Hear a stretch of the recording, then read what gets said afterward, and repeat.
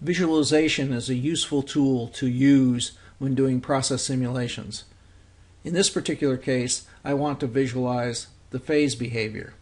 In order to plot the phase equilibria, I move to Plot, TPXY, to arrive at this dialog box. ChemCAD uses convention that any input that has a green description requires an input by the user Anything that is black has default values. In this case, I want to plot the phase behavior of isopropanol and water. I can choose constant pressure or constant temperature. In this case, I'll choose constant pressure. And I'll do this calculation at 20 psi. I need to select the type of reports or the visualization that I want. In this case, I'm going to select a text report, XY diagram, TXY diagram, and activity coefficients. Because I have selected not to invoke the Poynting correction, I cannot plot fugacity coefficients. First up is the text report. I'm plotting isopropanol and water using the NRTL solution model. The NRTL solution model parameters are given. The table consists of the bubble point temperature, in this case the specified pressure, liquid composition isopropanol, vapor composition isopropanol, activity coefficient, isopropanol, and activity coefficient of water. Again, because I did not invoke the Poynting correction, the fugacity coefficient ratio is 1. I can plot the XY diagram. Isopropanol being more volatile is the composition that's plotted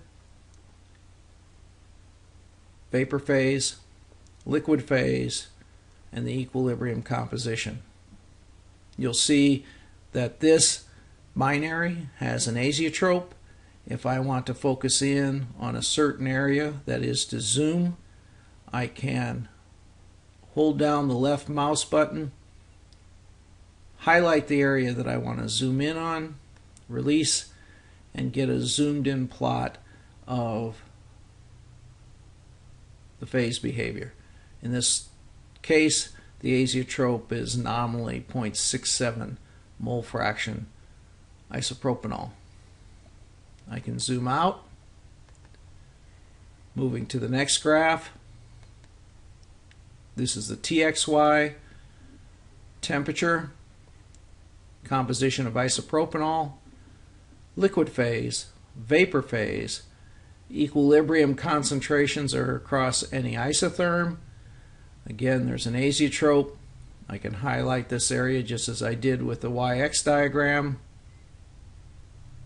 Identify that the azeotrope is, of course, nominally 0.67 isopropanol. I can zoom out, move to the next.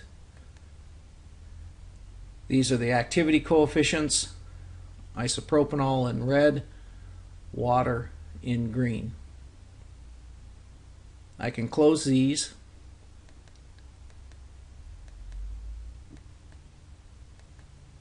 So in order to visualize the phase behavior,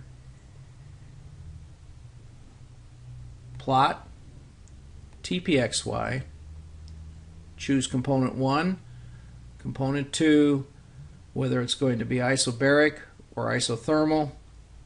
In this case, I chose isobaric. Enter the pressure. There are defaults for these entries.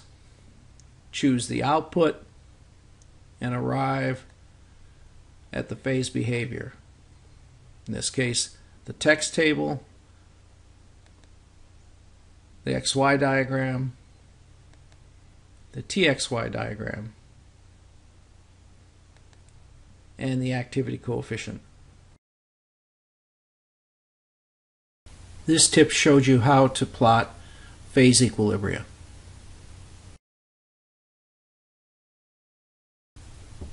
Thank you for using ChemCAD.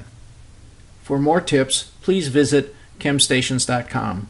My name is Chip Howitt.